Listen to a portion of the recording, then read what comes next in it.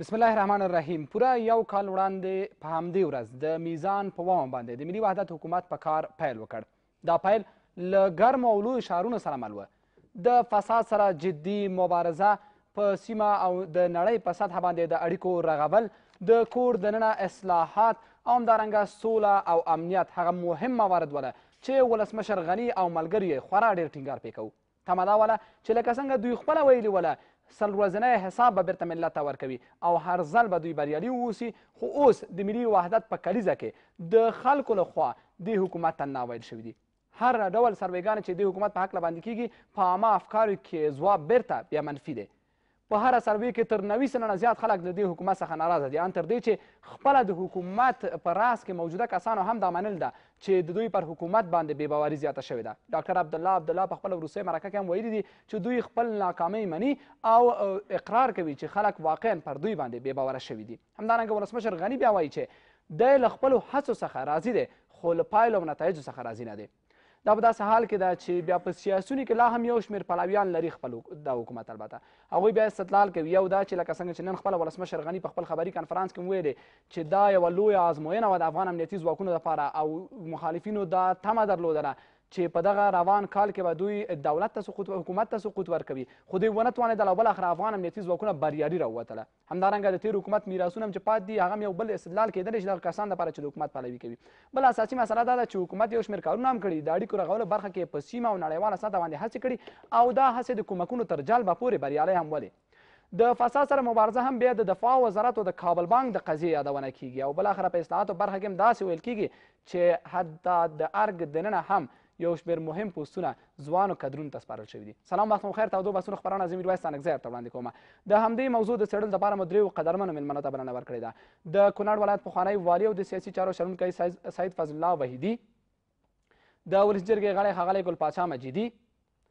او د پوهنتون استاد ډاکټر فیض محمد ځلاند په خیر راغلی ښه راغلاست وحیدي صاحب که هغه سروې کې تاسې هم برخه واخلئ او ووایي چې د ملي وحدت پر حکومت باور لرئ او راضي یاست ځواب به مو څه وي؟ یو خو سروېګانې دي خو موږ خپله شاهدان یو د ټولو واقعاتو چې دلته په وطن کې کیږي او هره ورځ ګورو په واقعیت سره چې فکر وکړو نو د افغانستان حالاتو ته چې نظر وکړي نو دا یو واقعیت دی چې حکومت ناکام دی او دا باید حکومت ومني دا دا خبره ځکه چې که اوس هم نه مني نو دا د ملت په سترګو کې خاورې اچوي په دې تاسې ګورئ چې تر اوسه پورې په دې دیارلس څوارلس کالو کې دغه حالات روانو په افغانستان کې مګر د یو ولایت په سطح ځای چا نه دی نیولی دا اوس اولین ځل دی چې موږ تاسو ګورو په خپل چې یو ولایت نیول کیږي اوس که موږ دا وایو چې دا ونیو دا بیرته په دوه ورځو کې ونیو درې ورځو کې نه طالب اوس په خپل ځي اوس ته دا ماته وایه چې څو موټرې درنه وړي دي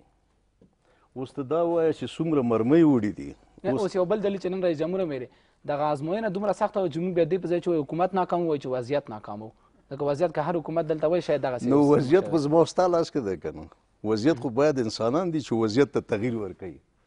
وضعیت باندې خو باید امنیتي ارګانونه کار وکړي او وضعیت ځان ته برابر کړي که نه وضعیت خو دا نه وي چې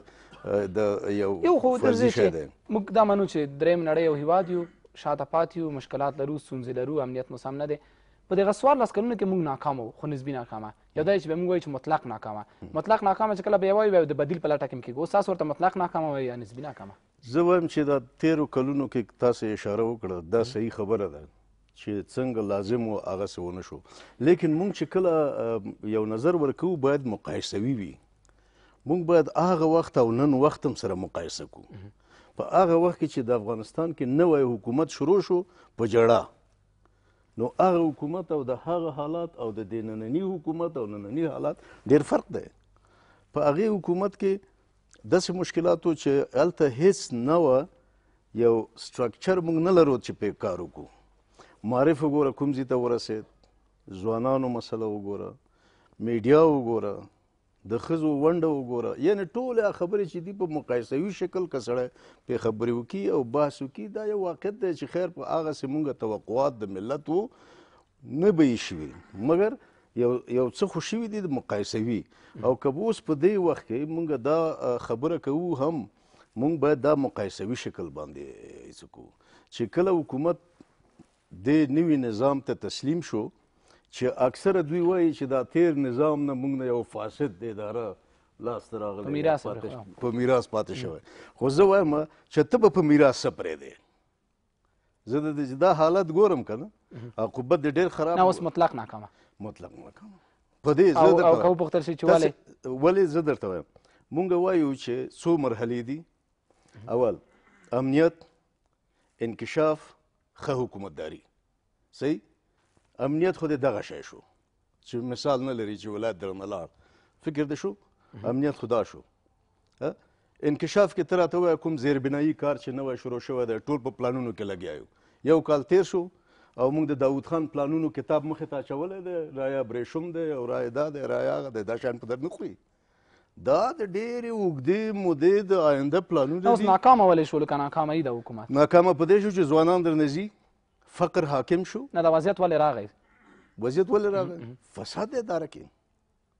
زه درته وایم زه د هرات والیام وم بر علاوه د دې چې کونړ کې وم دوی راغله وای موږ خانه ټکانی وکړ هرات کې رئیسان لري کړ صحیح په منیجمنت کې خانه ټکانی نشته ورور لګ لګ قانون باندې وګاګېږه ته یو مملکت یې ته چې څوک بدلې هغه سړی هم حق لري چې مقرر شوی دی یو پروسیجر یې طی کړی دی بیرته چې ته لرې کوي هغه یو پروسیجر غواړي نه خو بیا اصلاحات دوی دغه ته وایي که نه دغه اصلاحات دي اوس وایي چې دا مفسدین دي او دا مفسدین مو لرې کړه ځوان کسونه نه دا د مفسد تشخیص چا کړی دی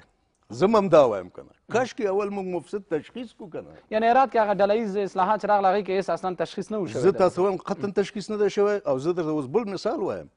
تاسو د هرات عواید په هغه وخت کې مو ګورئ او هغه خلک چې چې ووتل په هر نوم زه خو هغه نوم هغوی ته نه استعمالوم ځکه شریف خلکو د افغانستان خلکو ډېر ښه مدیرانو هغه د دوی د کمپاین په وخت کې درې ځله استعفا ورکړې رئیس ګمرک هرات چې په کمپاین کې ته پیسې غوښتل کېدلې کاش کې مفسد معلوم شي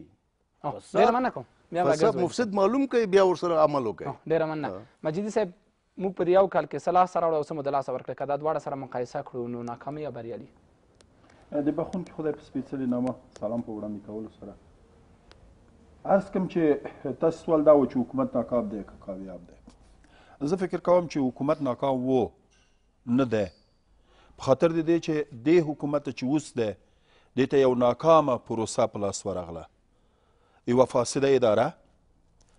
اقتصاد له لحاظه مجید صاحب وبخې پوښتنه چې څه وخت څخه دا درک کړه چې هغه حکومت ناکام و له پخوا څخه مو درک کړی بله واقعا ولې کمپاینو وخت کې دا اواز نه و چې دا مفسده اداره ده ولې دغسې لوی شعارونه ورکړي اوس دا انتقاد دغه ده اوس هغوی وایي چې دوی خبر وله چې دغسې اداره ده هغه اداره فاسده وه هغه ولس ته کار ونه شو کړی د هغې ادارې کوم نومان چې و هغو سره مونږ نه ولاړ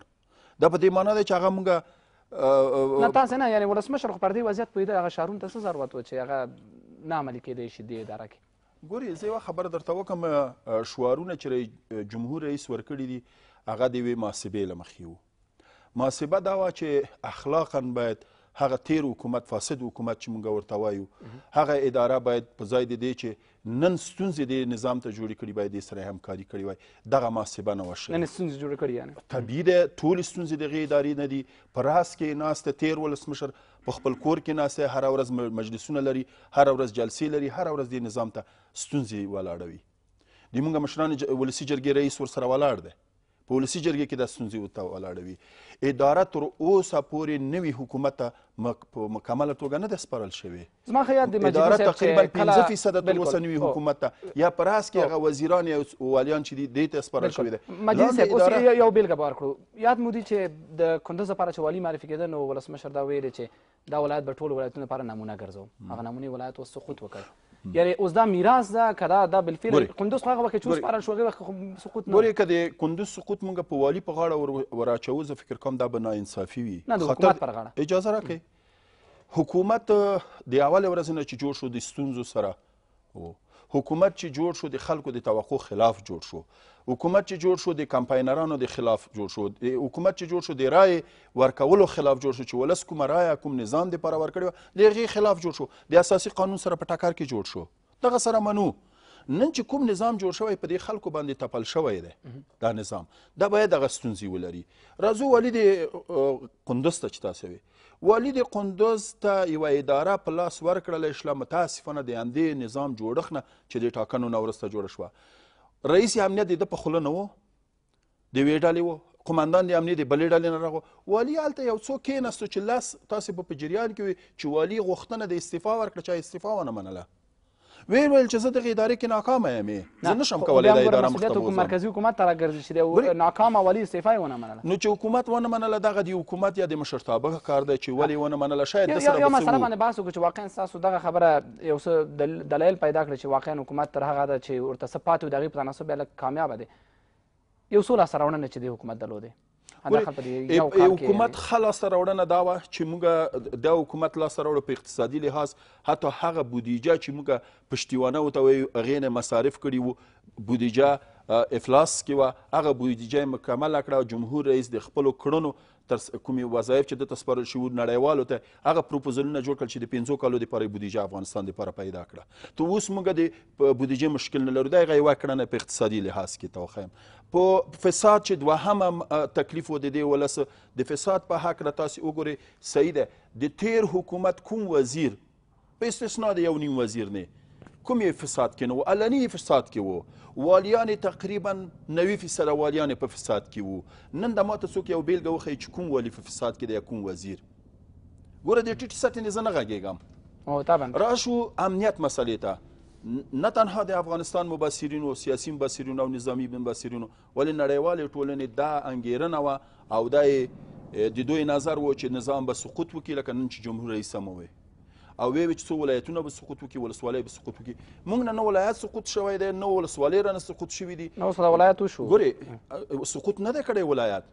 نه خو ولایت خو ولایت په دې نوم سقوط نه دی کړی چې طالبان به برلاسه شي وي راغلي به وي ولایت یې ونیو ولایت په منځ کې مشکل موجود وو دغه بو آیات چې نتیجه دا ده چې ولایت سقوط وکړ اج ولایت سقوط وکړ یعنی مدیریت نه و دا سره منو چې مدیریت الته ایجاد نه و مدیریت موجود نه و د ادم به کفایت د مسولین لاسه الته هغه ولایت سقوط وکړ په خاطر د دې چې په داس یو ولایت کې چلته استراری حالت د ټول افغانستان نه و الته والی موجود نه و دا یو سوال دی چې والي صاحب باید ځواب ورکړي چې ولې نه وو رئیس صاحب امنیت هلته موجودیت نه وو قومندان صاحب امنیت چې چغې ویلې په مطبوعاتو کې چې تر اخري قطرې د وینې پورې جنګېږم اولین وار د پښې سپکې کړې قومنداني ورته پرېښودله یعنی هلته یو حالت رامنځته شو لکه قصدي او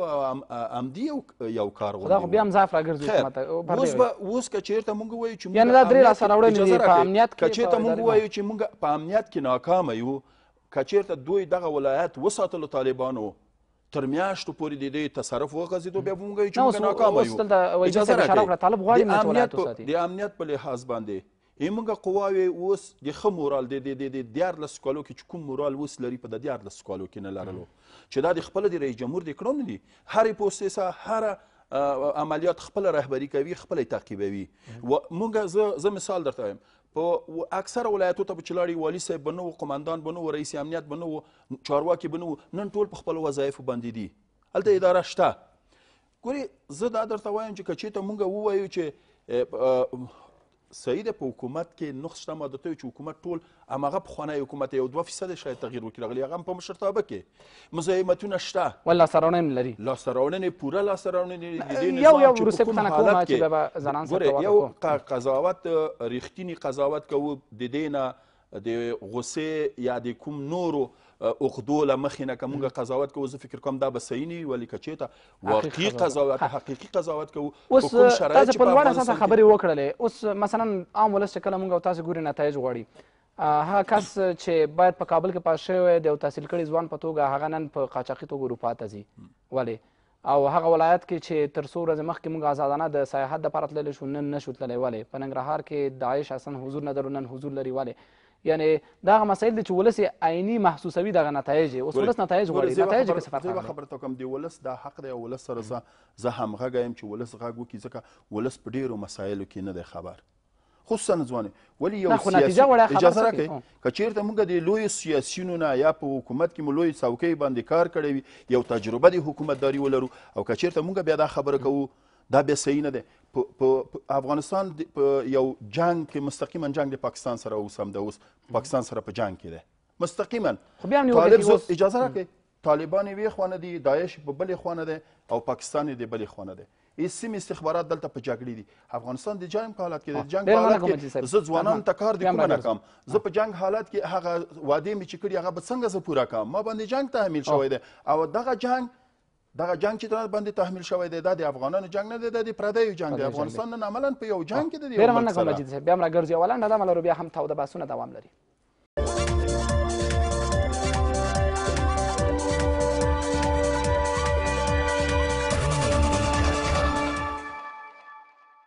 بیا هم خره خلاص خغلی زلان د ځینې موضوعات مو شاید نوټ کړي دي وام اورېدله ولې دا چې د کمپاین په وخت کې کوم محاسبې چې شوي ولې هغه پر دې اساس ولې چې د معمول په توګه به تیر حکومت د دې پر ځای چې مزاحمتونه وکړي هلته به هغوی همکاري کوي حداقل که همکاري نه کوي مزاحمتونه به نه جوړي خو اوس هر څه چې پېښېږي د تېر حکومت ډېری چارواکي چې په راس کې ښاغلی کرزی دی په منظمه توګه غواړي د حکومت خنډونه جوړ کړي نو دې امله په ډېرو مواردو کې حکومت پاتې راغی خو بیا هم ځینې لاسته راوړنې لري چې مجید صاحب یادونه وکړه ستاسو نظر اخلو بسم الله الرحمن الرحیم تاسو قدرمنو لیدونکو اوریدونکو قدرمنو بلمنو ته السلام علیکم ورحمت الله وبرکاته حکومت متعدد تعریفونه لري یو تعریف د موږ په اساسي قانون کې شوی چې ولسمشر جمع کابینه او یو په تیوریک لحاظ باندې په کتابونو کې کیږي حکومتونه د واک انحصار لرونکي جوړښتونو ته وایي چې د خلکو په خوښه باندې رامنځته کیږي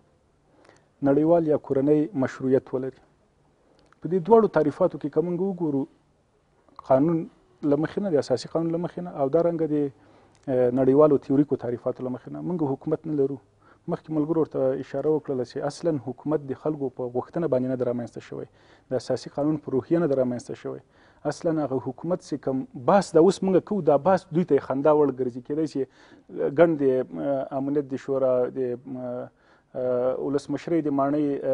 ویاندویان هغوی اوس ګونګیان ګونګیان ورته ناست او موږ واوري هغوی به خاندي چې دغو خلکو ته وګوره په حکومت کې غږېږي حکومت لکه مس حکومت اصلا کله چې واک وویشل شي د قانون په خلاف باندې لکه څنګه چې د یوې سیاسي تفاهم نامې تر نامه لاندې د ولس د غوښتنو او رایو په مخالفت کې او د ملي ګټو په مخالفت کې وویشل سي حکومت خپل تعریف له لاسه ورکړي دغه ورځ نه سي حکومت سقوط کړي ده تر نن سقوط ده دا د هغه سقوط نه دی قندوز کابل په غوړه سقوط کړي ده چې په لوی لاس باندې په ظلم باندې ډاکټر اشرف غنی او ډاکټر عبد الله نه وتل ارګ ته په هغه ورځ باندې حکومت سقوط ته د هغه ورځې څخه زه ته نه پوهېږو چې سقوط ته چا چې تعلیم کړی تا مخکې ورته اشاره وکړه هغه چې ماسټري کړي پي ایچ ډي کړي هغه پوهېږي هغه وتښتېده اوس هم تښتي تاسې لاړ شئ د کابل پاسپورټ ریاست ته تاسې لاړ شئ د هرات پاسپورټ ریاست ته تاسې لاړ شئ د مزار پاسپورټ ریاست ته دا درې ښارونه چې هلته ډېر تعلیم یافته خلک دي مجید څه ویلې ولس لا غزه خبر نه دی چې سیاسون خبر دی نو ولس به طبعا ناراضه وي ولې ډېر داسې کارونه شوي چې ولس لا پرې خبر نه دی سیاسیون کشکې خبر وای سیاسیون خو وای د ولسمشر دی اوس ناستو په خبري کانفرنس کې وای قومند والی راپور ورکړی و چې کندوز سقوط کوي ملي امنیت رئیس سقوط ور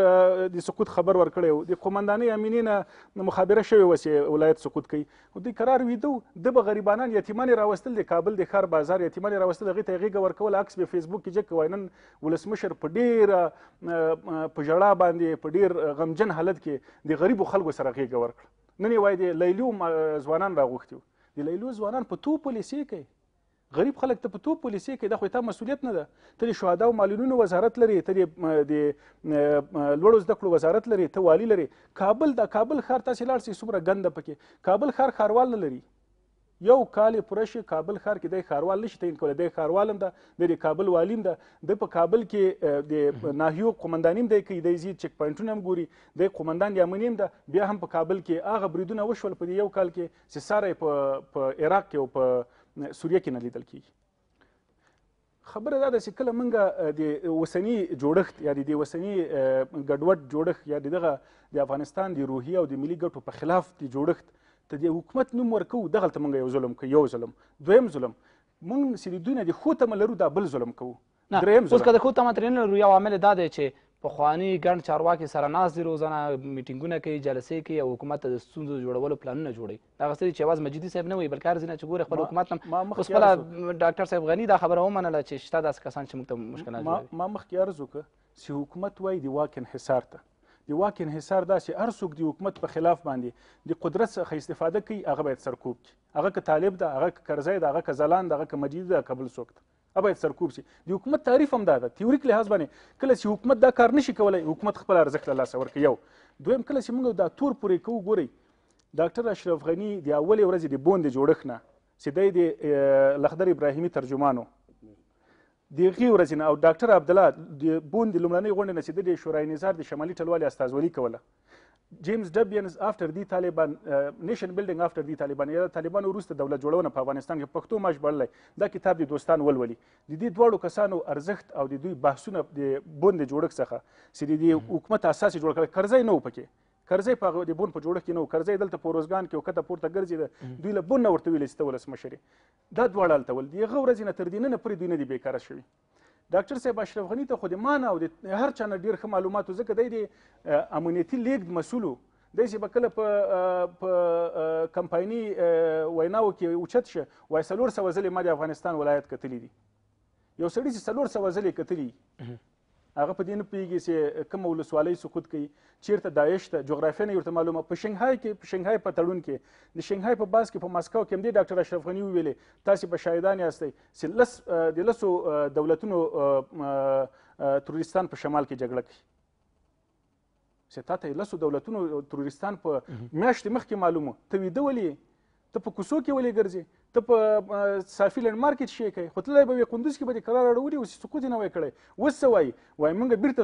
قندوز ونیو چې دا پکې وژل کېږي دا یې چا له لاسه وژل کېږي دا سی وژل کیږي دا دا اوس دا اوس جګړه روانه ده دا خلک وژل کیږي دا چل لاس وژل کیږي دا مال لاس وژل کیږي دا طالب لاس راځي بل لاس وژل کیږي لکه چې مجیدی سویره د سیم باید مطلق نه شوي چې وګدای برخورد وشي او وګدای قضاوتونه وشي چې حقیقتونه وایو پښتیوانې څخه هم پیسې مصرف شوي وي اوس موږ د 15 کالو بودیجه هم تیار کړې یان دا د ولسمشر غنی هڅه ولې بل دا چې کوم والی او کوم وزیر فاسد دی زه د هر هغه چا سره عقده لرم چې د ما د ولس او د ملت په خلاف باندې عمل کوي زه دومره شدید عقده لرم د هغه انسان په خلاف باندې چې هغه د ما د وطن خاوره کاڼي لوټي هغه ته په بده ګوري نه وزه قضاوتونه واقعا راځم راځم زه وکړې ته راځم زه له هیچا سره شخصي غوښتنه لرم د ما واسکټ د ما کالي د ما اولادونه ده د ما خپل لاسته راوړنه ده که اشرف غني ماته وظیفه راکړي که منفق مې کې د مانه نشي اخیستلی اشرف غنی خو خدای نه ده زه خو د خدای بنده یم د اشرف غنی بنده خو نه یم نه د ډاکټر عبدالله بنده یم عقده نشته د مونږ عقده د ولس عقده د ولس د ګټو د افغانستان د ارزښتونو په د نه ساتلو او مخالفت کې ده یو دویم دا چې کله موږ اقتصاد تعریفو اقتصاد دا نه ده چې بودیجه یې راوړله دې ته اقتصاد نه وایي اقتصاد د نه خلاصه رونه خو دا پر اقتصاد بحث زه راځم زه راځم بودیجې ته هم زه راځم زه په همدې دولت کې وظیفه هم لرم زه راځم اقتصاد د تولید او مصرف مدیریت ته وایي اقتصاد د منابعو د سرچینو مدیریت ته وایي چې موږ منابع لرو سرچینې لرو لکه عایداتي منابع لرو لکه معدنیات لرو لکه پانګونه لرو آیا هغه مدیریت شوی زه په کابل پانتون کې استاد یم مه کوئ چې ټول افغانستان یې واوري زه په کابل پانتون کې استاد یم اووه میاشتې کېږي یوه هبه معاش یې نه ده راکړی یوه هبه زه په کابل پوهنتون کې استاد یم، د کابل پوهنتون په تاریخ کې، د طالب په دوره کې، د مجاهد په دوره کې، ډاکټر نجیب په دوره کې او په اوسنۍ د کرزي په څوارلسو کلو کې یو یو کال هم یو کال هم د شپې پوهنځی کانکور نه ده مسخه شوی لمه توقف نه ده کړی د طالب وخت کې د شپې پانتون کانکور اخیسته د مجاهدینو په وخت کې د شپې پانتون کانکور اخیسته د کرزي په سوار لاسو کلو کې اول ځل ده د دې ډاکټر صاحب اشرف غنی او ډاکټر صاحب عبد الله په په یو کلنه دوره کې کانکور پای ته ورسید ولی وای بودیجه نشته چې بودیجه یې جوړه کړې ده نو کانکور واخله ولې کانکور نه اخلې زه د کابل پوهنتون د شپې پوهنځي یو استاد پاتې شوی یم تېر سمستر مې تدریس کاو دې سمستر کې موږ بایکاټ وکړو سینې تدریس و د مکملو پنځو میاشتو معاش تر اوسه پرې ماته نه ده راکړی د محصل نه موږ پنځه سوه افغانۍ پنځه زره افغانۍ هره میاشت فیس اخلو ښه چې ته له محصل نه فیس اخلي بیرته خو ماته معاش راکړه خو فساد ده پکې پیسې د په صرافه کې بندې کړي تاسو لاړ شئ اسرائیل شاهزاده ته دغه حکومت دی هر وزارت پیسې په اسرائیل شاهزاده کې کړي دوه میاشتې درې میاشتې پنځه میاشتې د معاش مامور دی مدیر دی استاد ماتله کوي د یالته صرافي کې په باندې پیسې کوي په بازار کې په چرخش کې اچولې دي خپل ګټه او سود په باندې اخلي بل ورځ کله فشار پر راسي زسي دا نن په پانتون کې لارینو کم سبا ماته معاش راکړي و میاشتې کېږي ما ته یې معاش نه دی راکړی له کومه شوه بودیجه دا خو د خلکو سترګو ته خاورې شي ډېره مننه کوم مونږ خو د بودیجې په کسر باندې اخته یو انکشافي بودیجه مونږ څوارلس کاله کېږي څوارلس کاله چې مونږ سل فیصده کسر لرو څوارلس ده له کومه کړلې چې قرضي نه شوای پیدا کولی ډېره مننه کوم یوه لنډه دمه بیا هم تاوده بحثونه دوام لري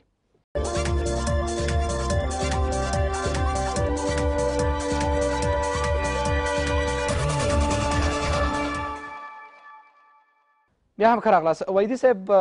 یو شمېر لاسته راوړنو ته هم اشاره وشوله هغې ډله کې دا چې پخوا حد اقل نوي سلنه والیان مفسد وله ول اوس یو خو دا والیان رښتیا هم خپل ولسمشر ورسره مخامخ انټرویو وکړله او پروسه هم د ډېری په باور باندې یو څه شفاف پروسه ده پخوا پتانه صاحب پرته له زورواکو څخه یو کس عادي کس هم چې زده کړې درلود تللی شو هلته اسناد خپل ورکولی شو چې د سره مرکه وشي یا انټرویو وشي او ولسمشر دا کسان په خپل نږدې لیدله دا یو لاسته راوړنه ده چې نن موږ هیڅ فاسد والي او فاسد وزیر نه لرو او پخوا مو دا نوي سلنه درلودله او بله مثلا هم د امنیتي برخه کې اوس زموږ امنیتي ځواکونه هغه مورال چې لري او چې پرته له بهرنیو ځواکونو جنګېږي هغه پخوا نه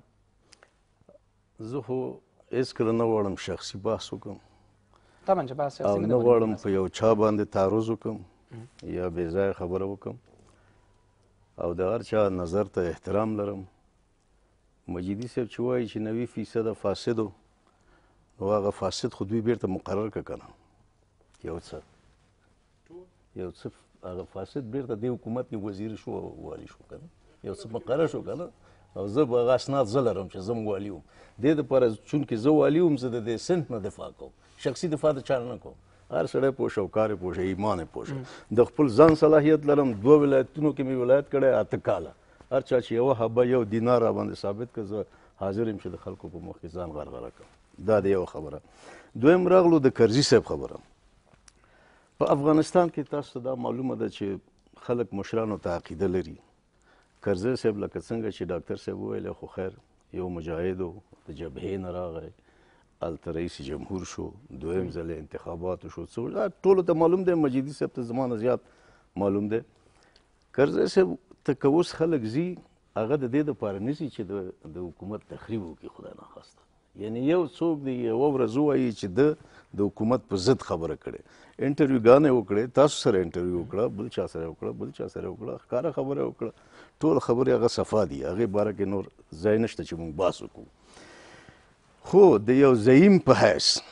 د یو ملي زعیم دا د هر چا خپل نظر دی که د یو ملي زعیم په حیث د افغانستان ولس ورته احترام لري او تګ را تګ ورته کوي دا کوم د سه منفي خبره د دولت د پاره زه فکر کوم چې نه ده د دې نظام د پاره اما کومګه او تاسو دا بعضې خبرې چې کوو که نه د ستاسو یاد یې کرزي صاحب وویلی چې زه چې تاسو نه ځم د بودیجې راپور هغه ورکړ چې دغومره بودیجه ده ستاسو که یاد وي ما واورېده چې ویل مور خپله وخورئ دا خبره مې واورېده نو بودیجه خو هلته موجوده وه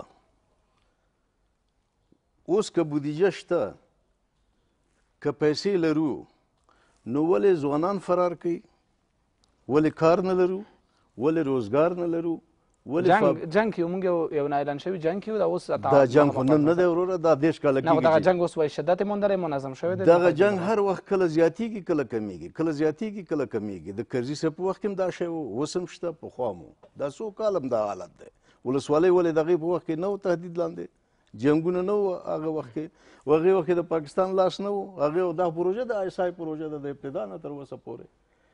نو داسې مقایسه که مونږ کوو نو د د دوو نظامونو نه کوو مونږ پوهېږو شرایط فرق کوي بیا هغسې مقایسه که سړی کوي هغه ډېر اوږد بحث دی او هغه په هره برخه کې په هر څه کې باید سړی هغه ټول طرفونه راځي اوس بیا ممکن وار ورنه رسیږي پر دې هم وغږیږو چې کله چې اوس د حل لاره مسله کېږي یو شمېر سیاسون چې پخوا د ولسمشر غني ملاتړي ول هغوی اوس وایي چې ښه لاره یې په دې لنډمهالي کې د بیا انتخابات ترسره کېدل دي. ځینې بیا وایي چې لنډمهالی حکومت دی، ځینې بیا وایي چې نه همدغه حکومت دې تقویه شي، همدغه حکومت سره دې مرسته وشي، رهنمایي دې شي، فشار دې پرې راشي. په دې درېیو کې کومه حل لاره مناسبه ده؟ وروره د حکومت بې نظامه ژوند نه کېږي. بې د نظامه ژوند نه کېږي. د نظام اصلاح لپاره باید موږ هلې ځلې وکړو. خو زما پیشنهاد دا دی چې په جمهوري نظام کې او په دیموکراتیک نظام کې دغه حکومت د خلکو یو امانت دی چې ورکړ شوی په دې نه غږېږم چې انتخابات کې څه ونه زه والي وم ما ته ټولې قصې معلومې دي مستند شان لرم هغې پسې نه ځم خو دا وایم چې دا د ولس یو امانت دی دا نظام او د دغه نظام کې د اوس چې مونږ ګورو چې ولس ناراضه دی تا خپل ویل چې عبد الله وایي چې ولس ناراضه دی بې باوره شوی بې باوره شوی دی کله چې ولس بې باوره دی دغه د ولس امانت بیرته دی ولس ته وسپاره کنه څنګه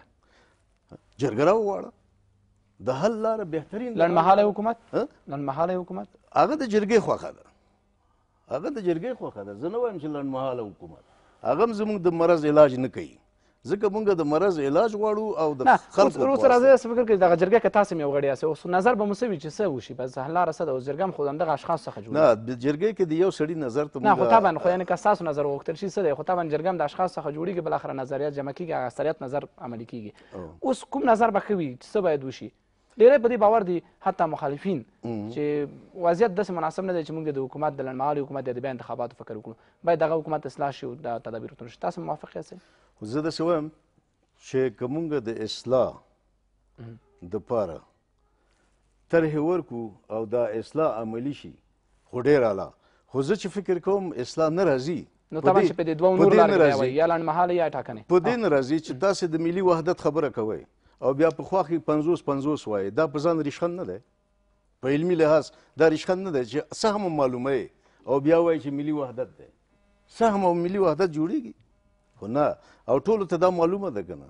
ولی وکی وزیران نه تکمیلیږي ولی والیان نه تکمیلیږي مخکې د والیانو باندې خبره راغله مګر موږ تاسو ټول پوهیږو چې والیانو حالت څنګه دی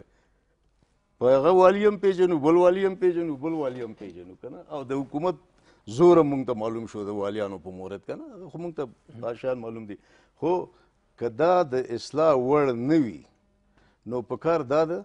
چې فقط دا امانت خلکو ته کېښودل شي او د افغانستان ولس ته دې وویل شي چې دا ستاسو امانت و مثلا څه موده مخکې د مشرقي وکیلانو مشرقي خلک وغوښته ورته ویل چې ستاسو خواسته مونږ حکومت ته راوړلې یعنی زه په دې ټولو کارونو کې د دوی دا کار زما ډېر خوښ شو ویل چې ستاسو خواسته مونږ کې خو دې خو چا ونه منلې اوس تاسو وایي چې څه وکړو یعنی په دیموکراتیکو نظامونو کې اصول دا دی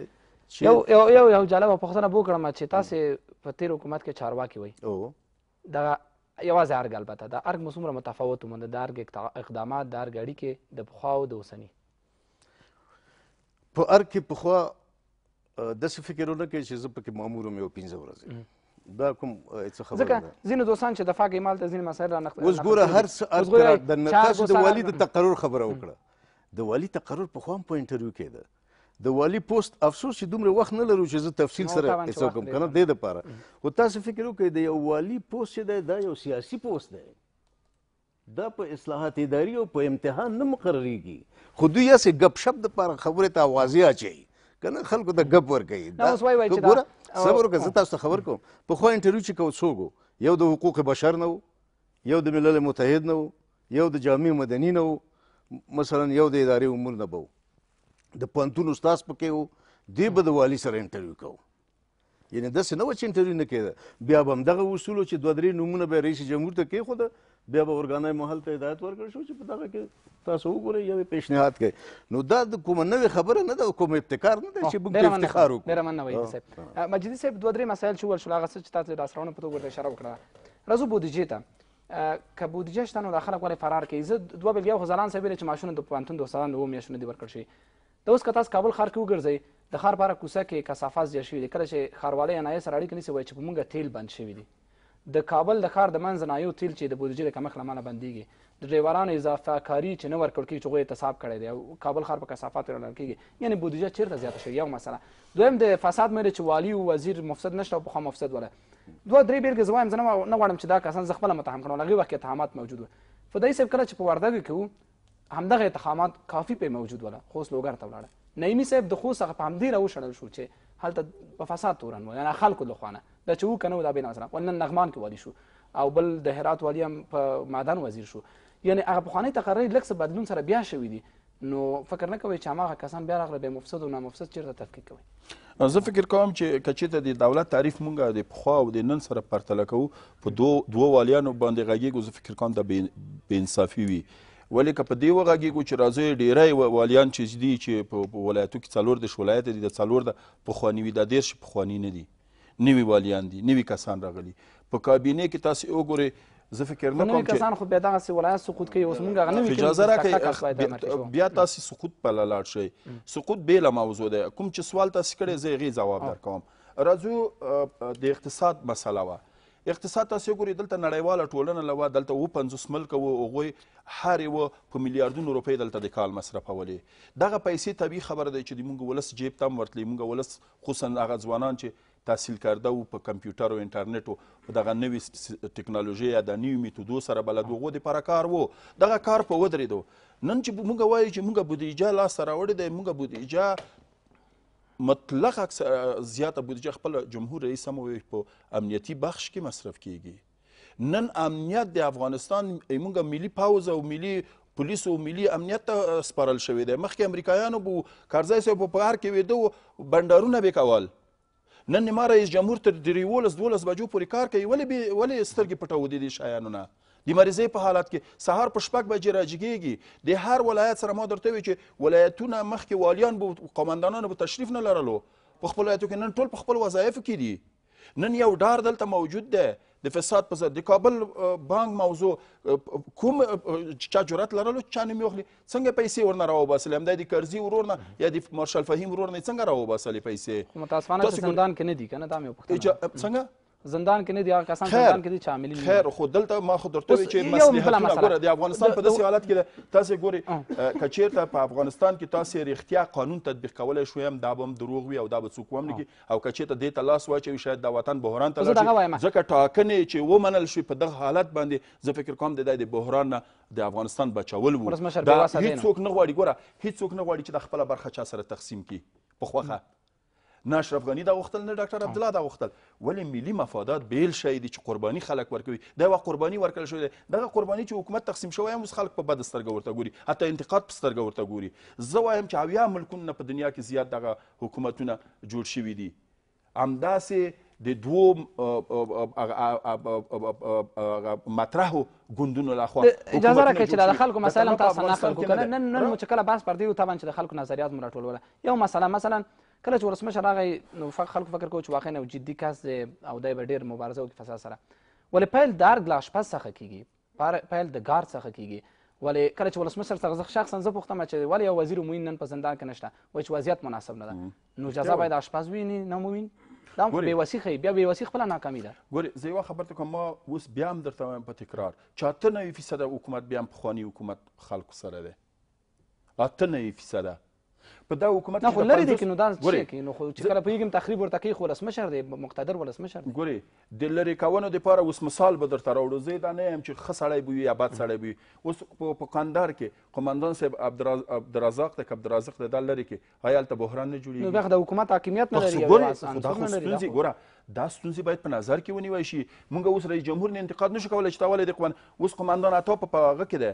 مزار کې مزار کې دی او د رئیس جمهور احکام نه مني نن ورځ رئیس جمهور حتی دې ته رسېدلی دی چې دی عمل ته والي وساتي دی د رئیس جمهور یعنی بېوسه شو اجازه راکو اجازه راکو اجازه راکوي بېوسې خبره نه ده ګوره بیا دلته ده ګوره دا تاسو انتقاد په نظر مه ګورئ دا شی دا د افغانستان ملي ګټې دا ایجابوي دا د افغانستان ملي مصلحت دا ایجابوي چې باید دې دې مسایل ته موږ غاړه کړو ولې رئیس جمهور چې نن په ځان باندې دا زجر تیروي چې یو والي دې د احکام نه مني ولې بیا یې عملته پرېښودلی دی د افغانستان د اوسني وضعیت دا ایجابوي کني رئیس جمهور خو خوشاله دی چې یو تیار سایت عسکر هلته په مزار کې والي وي چې تیار سایت همیشه ورته ولاړ وي تاسو دغه د افغانستان اوسنی وضعیت باید تحلیل او تجزیه کړئ او د ولسمشر هغه ګنګوسې اوازې چې حتی ولس کله کله پرې د تایید مهر کړي هغه دا چې نور دا حکومت له سانې لرې شي مؤقت او بیا بیا انتخابات حدیث صاحب وایي بیا انتخابات ځینې کسان وایي چې مؤقت حکومت او حتی ښاغلي سیاف هغه وړاندوینه چې لویې جرګې خیمه کې وکړه چې نورو هېوادونو کې تدابیر شته دلته تدابیر نشته دا یې ښودله چې یو ډول دا بوی ترې راته چې لنډمهالی حکومت یا داسې یو ټیم چې بدیل اوسي د هغې خبره کېږي واقعا دغسې یو څه کولای شي دې ستونزه د پای ټکی کېني. ګورې ما خو درته وې چې دل دې حکومت سې متاسفانه په ځای دې دې چې ګورې همدغه جمهور رئیس غني و د کرزي صاحب سره همکاري وکړه په په ډېرو مسایل کې هغه وخت چې وزیر د مالیه هم و ورسره ښه همکار و نن د دوی د په ضد ټول راپاڅېدلي دي چې دغه نظام ته باید خاتمه ورکړي ظاهرا خو ښاغلی کرزي څه نه دي ویلي عملا عملا یې کوي عملا یې کوي مثلا د همدغه تاس چوي اوس تاسايف چې د پنځم ستون خبرې کوي د پنځم ستون څوک دی دا یو رج مرج دی په دې نظام کې چې پنځم ستون دوی خپل دي دوی دي چې دا نظام چالش سره مخامخ کړي دوی دي چې دغه یعنی تبلیغات منفي دي په دې منفي تبلیغات ظاهر دي د وسنی وضعیت لپاره کله د ځایناس د حکومت لپاره خبره کوي کله د لوی جرګې خبره کوي وروره څه خبره ده ولسوالۍ سقوط کړي ده دا چې نن اقتصادي ستونزې دلته راغلي دي نړیواله چې دلته شتون لرلو اقتصادي مسله اصلا چا څوک په فکر کې نو د دریاب غوندې دلته ډالر روان وو ولې هغه قابو نه کړل شول هغه په ځای مصرف نه شول دا د چا ګناه دی د اشرف غني دی فاسده اداره چې پاتې شوه چې اوسه پورې باید دی لاس پنجې ورسره نرم کړي دی د اشرف غني ګناه دی امنیت په دغه رقم چې دته تسلیم شو لکه دغه هیواد چې ورته تسلیم شو په دغه بحراني حالت کې او داسې بحران سره دغه دوه مورد یو مالی دغه معلم چې څومره زما یادېږي هغه ډیر پروسس پراس کې به د خغلی غنی و غي وخت کې البته چې د مالی کومکونه او انسجام او د اول کې ورسره نه وو تر ډیره وخت یې هغه زیات کومکونه چو او امنیت کې هم د سلور د ولایتونو خو د مسولیت واخیسته دا د مسولیت د اخیستلو مسول د خو درکوي شو وضعیت د نقد کړي او د بنه پرې دا د مسله خو دی ګوري زه یو خبر درته وکم چې دار کې زه در سره منم چې د باید د دار کړي وای دا به د دار کړي وي دلته ستونزه دا ده چې جمهور رئیس په یو حالت کې دلته حکومت ته وسپارل شو چې 50 حکومت د لاسه واخیستل شو دلته د د سره متوازی بل حکومت په باندې ومنل شو په ور باندې وتپل شو نو په داسې حالت کې دای د د پیشبینی کړی یعنی وضعیت دومره خراب نه دی چې په لوی جرګه لنډمهاله او بیا انتخابات د فکر وشي په هیڅ وجه زه دا وایم که چیرته دی وضعیت خبره څوک کوي موږ زه فکر کوم چې موږ په امنیتي وضعیت باندې هم برلاسي یو کومې ستونزې چې افغانستان ته متوجه دي کومې خطرناکې دسیسې چې دی وطن د پرته جوړي هغه په تناسب او کوم چې اقتصادي وضعیت نن په افغانستان کې راغلی دی چې نړیوالې مرستې درېدلې دي د هغې په نسبت اوس هم ښه دی دا چې چا معاش نه دی اخیستی هغه بېله موضوع د هغې نه زه نه یم خبر مستند نه دي ولې مونږ تر اوسه پورې و معلم نه دی ویلي چې اجازه راکړي مونږ نو خو زه خو باور نشم کولای دا دا باور نشم کولای مته باور سخت دی بالکل سخت دی زه ماته باور په دې سخت دی چې یو معلم تر اوسه پورې غږ ونه باسلو موږ پارلمان یو که چېرته یوه میاشت مامورینو معاش وانخستو معلمانو پارلمان پورې دوی راورسېدل خو خیر چې هر پارلمان و نه نم هغه پارلمان ته خر ته راځي یعنی دا د ما جواب خبرې جواب نه ده چې کوم پارلمان دا دا بحث نه ده او که چیرته بحث اجازه راکړي او چیرته او چیرته که بحث دا وي چې زه استاد یم راځه تعریف د اقتصاد وکړه زه فکر کوم دا بحث هم نه ده راځي په واقعیتونو باندې وغږیږو دلته که چیرته زه وایم چې ما کتاب لیکلی هغه کې مې د غني خبرې او د ډاکټر عبدالله راوستلي دي خو ته ورسره ولاړ وې تر همدغه غني سره تر اخره نه پورې یو کس خو تر هغې تاییدو چې په نو سمه لاره خو باندې ګوره که نه که چې چیرته غني هغه پیغمبر خو وړتیا یې نه نه لرله چې تا په کتاب کې لیکلې دی ولې ورسره ولاړ وې تر اخره پورې مخالفت مې موکه خو ګوره چې چوکۍ در نه کړه مخالفت دې وکړه ډېره مننه ځلاند صاحب یو دا دی چې د تاسو برخوردونه او تاسو ورته کسانو برخوردونه د پخواني حکومت اوږدې او یا ستاسو شخصي اوږدې دي چېرته څه نه دي رسېدلي دا هغه څه دي چې نقد وشو او شاید نقدونه موجود وي بله مسله دا ده چې ولسمشر غني بې وسه نه دی دا هغه کارونه چې کرزي صاحب هم نه وکړي ښاغلی عطانور ته او ښاغلی قمندان رازق ته کرزي صاحب هم لاس نشي وروړی دی هم نشي وروړی دا د مصلحت ایجابوي چې دا کارونه ونه شي او بل دا دی چې یو شمېر مسایل ته اشاره وشوه مجیدي صاحب اشاره وکړله بیا هم وایم چې شرایط دغسې راغلی او په حل لارې به هم تاسې نظر واخلو بیا اودس لمونځ نه کېږي دا ډیره واضح خبره ده به حاکمیت حکومت نه کیږي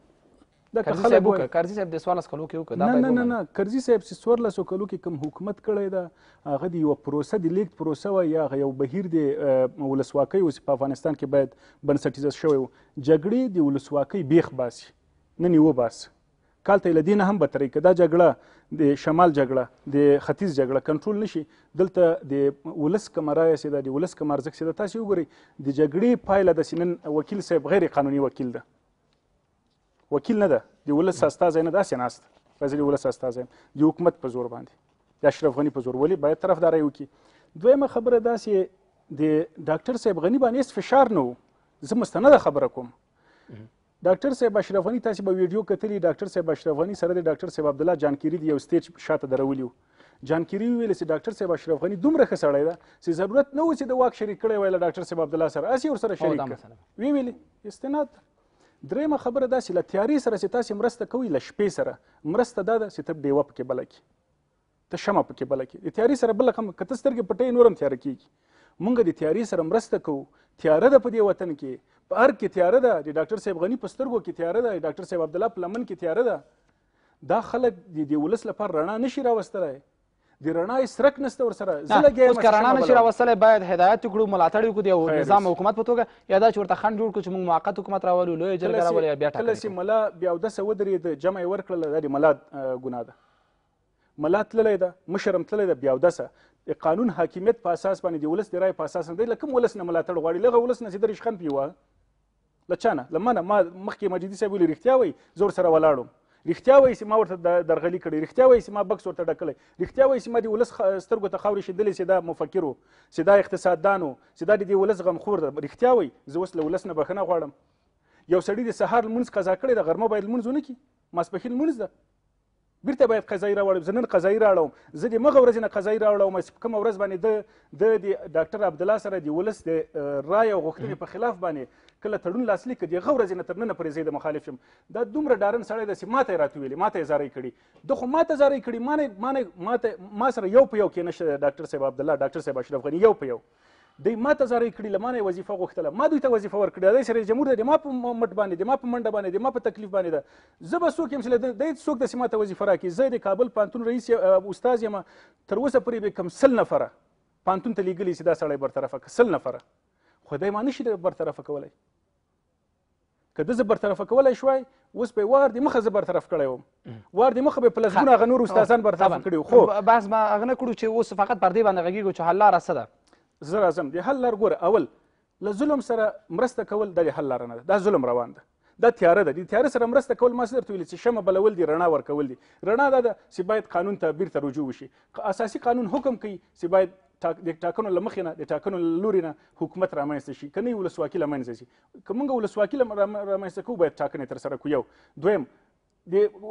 اساسي قانون حکم کوي چې هر هغه مسله چې د ملي ارزښتونو په سر باندې د حساب کتاب لپاره راځي لویه جرګه باید راوغوښتل شي باید او شاید حتما لویه جرګه راوغوښتل شي دریمه مسله که چیرته دا حکومت مخ نه اړوي ولس پسې راجګیږي تېره ورځ د افغانیت او د اسلامیت په ملاتړ باندې راجګ شي نن د خپل کور او د خپل ناموس او د خپل عزت د ساتلو لپاره راجګېږي همدغه د کندوز ولس پسې راجګېږي بېګا طالب لوټ که اوس یې دی لوټوي بېګا طالب وواژه اوس یې دی له هوا نه وژني بېګا طالب د ده په کور باندې مرمۍ ورولې اوس یې دی له سرک نه بېبانې وروي همدا پسې راوځي که چېرې دغه حالت همدغسې ادامه پیدا کړي درې خبرې دي، اول، دی باید قانون ته رجوع وکړي، ټاکنې باید ترسره کړي، چې ترڅو قانوني حکومت ولرو، دویم، لویه جرګه دې راوبلي، ترڅو د لویې جرګې له لارې نه د ملي مصلحت په اساس باندې فیصله وشي، دریم، که چېرته یې نه کوي، ولس به د دور طالب په خلاف باندې راجګېږي او ولس به دا ځلې په خپل حاکمیت باندې، په خپله غوښتنه باندې، په ملي یووالي باندې، په ملي ارزښتونو باندې ولاړ او کس ارګ ته ننباسي، په زور د خدای. یو مسله چې ولسمشر غني استدلال کوي لکه چې دې بحث کې مخالفت زیات په دې و چې یو کال کې هیڅ نه شي ول ولسمشر غني ویل چې زما کارونه دومره بنسټیز او اساسي دي چې ضرورت نه دی چې پایلې ډېر عاني ووسی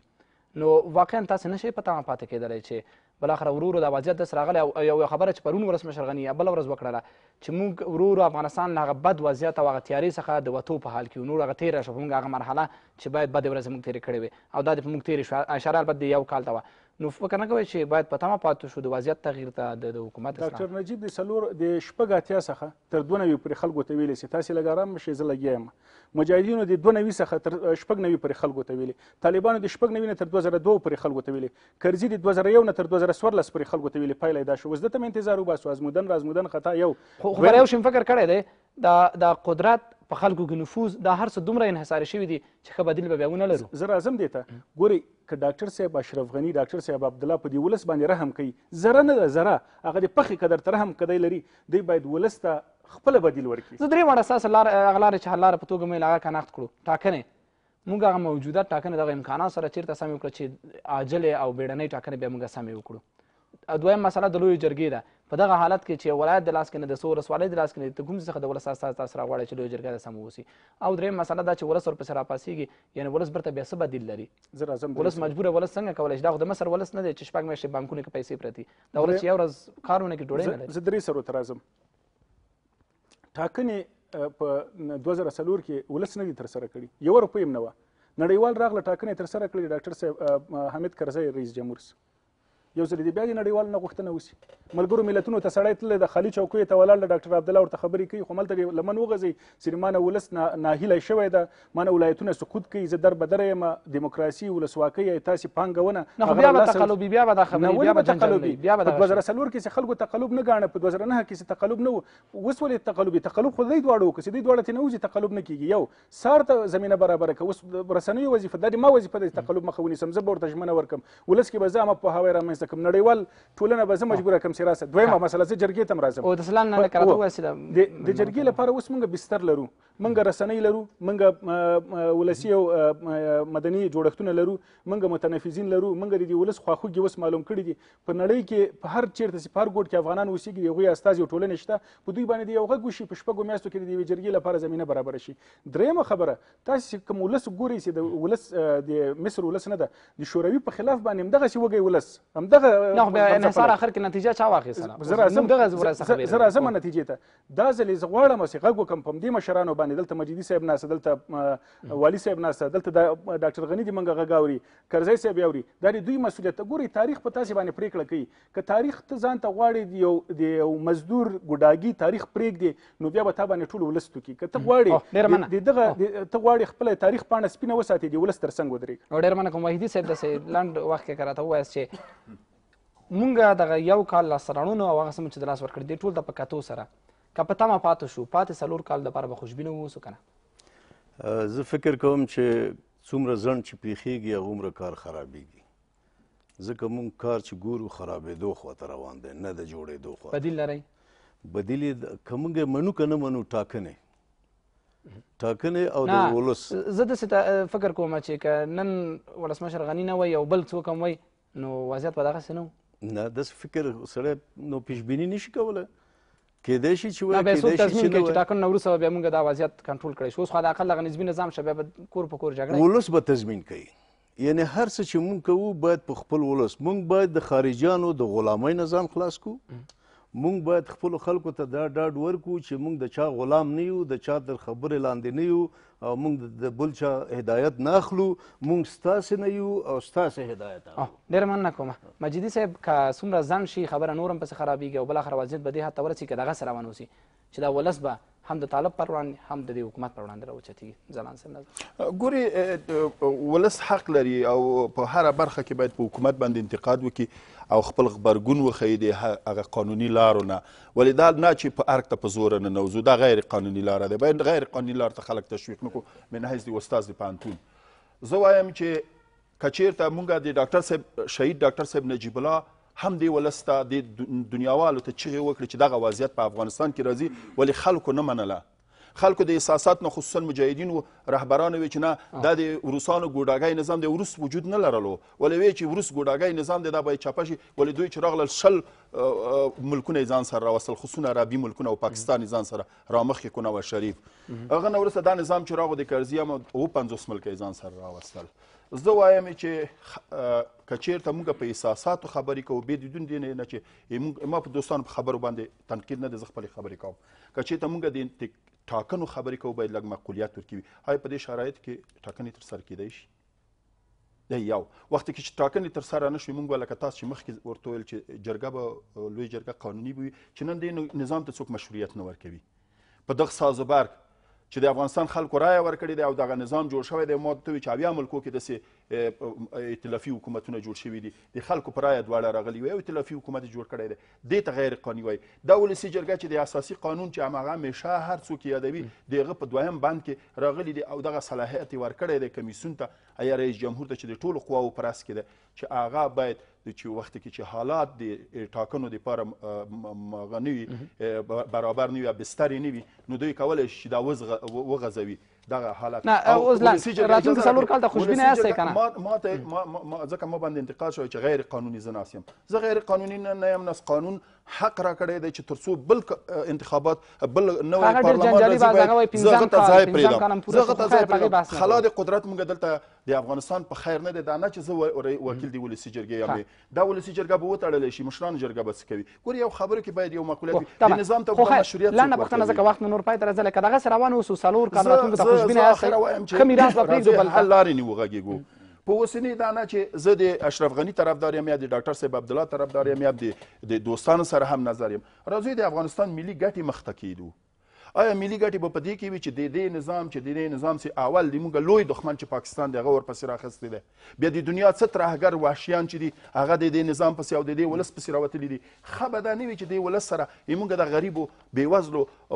کورنۍ سره لاس ورکو او دغه خپلو سربازانو افسرانو سره ملي اردو سره لاس ورکو او دې نظام سره لاس ورکو چې اقلا د خلکو په رایه خو د دوه مشران راغلي دي دې سره لاس ورکو د دې ناخوالو نه وباسو هغه نه ورسته او دغه یو کلم چې څومره کار کړی مدني حرکتونو مدني مبارزو هر چا حق دی اساسي قانون ورکړي یو کلم چې څومره کار کړی دی خوشبینه یاست چې څلور کال راتلونکي کله چې د دې دوره پای ته رسیږي به موږ د بل چاته یو ښه میراث پرېږدو که چېرته زه خوشبینه نه وایم ما به د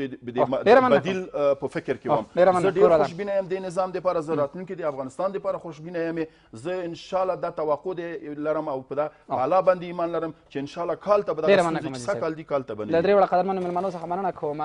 د بحث موضوع مو دا چې د ولي د ملي وحدت د حکومت یو کال نن پوره شو بلاخره غژمنې چې شوې ظاهرا نه دي پوره شوي او ولس هم ډېر سخت بې باوره او ناراضي شوی له دې حکومت څخه ان تر دې حده چې خپله د حکومت مشران پر دې اعتراف کوي چې ولس نور پرې باور نه لري د فساد سره مبارزه ښه حکومتوالي سوله امنیت نړیوال اړیکه دغه څه وله چې ډېر ګرم شعارونه یې ورکول کېدله خو تر ننه پورې دا څه په لویه برخه کې یا په لویه کې نه دی عملي شوی او ولس ظاهرا ناراضه بریښي په بحث کې نظریات متفاوت یو دا چې واقعا حکومت په تیر یو کال کې مطلق ناکام او نور وخت رسیدلی چې د حکومت زغمل پای ته ورسیږي او د بدیل په لټه کې شو خو بل نظر دا چې حکومت یو شمېر اساسي کارونه هم کړي دي هغه که د فساد برخه کې د کابل بانک او دفاع وزارت یادونه وشي او یا هم په ځینو برخو کې د ټاکنو او ګمارنو د یو شمېر برخو کې چې مستقیما شوي دي یا له زور پرته یا دا چې په ښې شفافې پروسې سره دا غسې چې لاسرړون توګه یادونه ورته کولای شو خو نظریات متفاوت د ملي وحدت حکومت په تیر یو کال کې مطلق ناکامه د ملي وحدت حکومت په تیر یو کال کې شرایط ته په کتو سره کامیاب دی که څلور کاله نور وړاندې لاړ شي نو یو ښه میراث به پرېږدي او که ولاړ شي نو خلک به یې پر وړاندې راوپاڅېږي تر بیا مو پاک الله سپارم سرلوړي اوسئ